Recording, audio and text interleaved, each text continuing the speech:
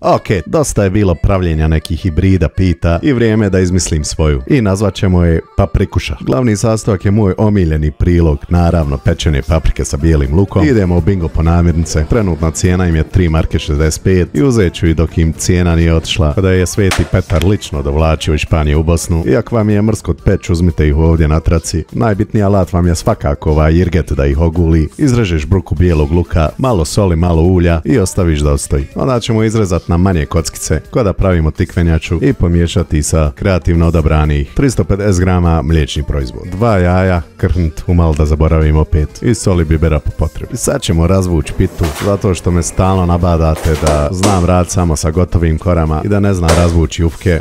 Mislim, evo šta je, ne vidim stvarno u problem. Evo, šta? Šta? Jel razvučeno? Jest.